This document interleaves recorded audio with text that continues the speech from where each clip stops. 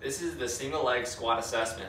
To begin, you want to make sure your shoes are off and your shorts are rolled up so the knees are visible to the camera. From here, we're going to start with our right leg. What we're going to do is we're going to take that right foot and we're going to make sure that foot is angled directly forward towards the camera, toes pointing straight ahead. From here, we're going to slowly transfer all of our weight onto that right leg and put our hands on our hips. From here, what we're going to do is we're going to squat down to our comfort level. Make sure we keep our free leg balancing next to our balance leg.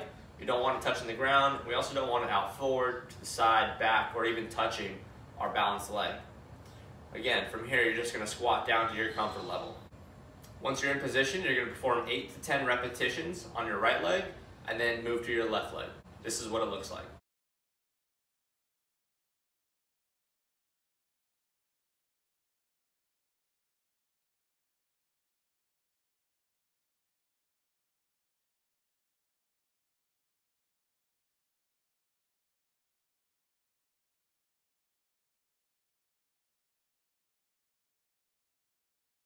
This is the single leg squat assessment.